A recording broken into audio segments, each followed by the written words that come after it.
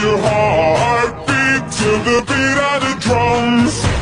Oh, what a shame that you came here with someone. So while you're here